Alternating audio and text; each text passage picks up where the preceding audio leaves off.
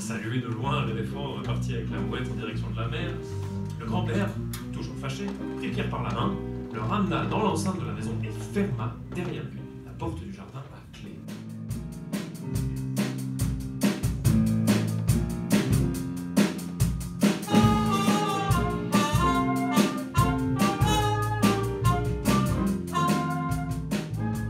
Donc Pierre ne fit aucun cas des paroles de son grand-père et déclara que les grands garçons n'avaient pas peur des loups.